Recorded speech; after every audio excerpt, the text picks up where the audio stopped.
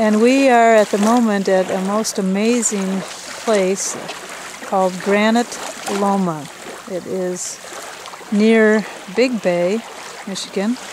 You can see this edifice here in front of us.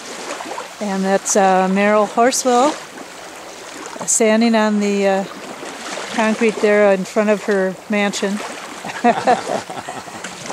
Actually, uh, we were given permission to walk on this property.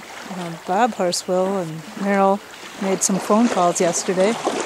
Tom Baldwin. Tom Baldwin is the man who gave us permission to come here and see this place because it is private and and uh, pretty well restricted on who can be here. But we'll turn around and you can see again the some more of this structure, which is for sale, we understand.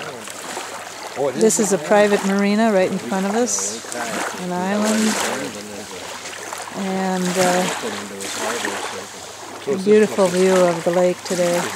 Clouds on the horizon. And um, that's the point we'll be headed towards. Going around on this really nice sandy beach.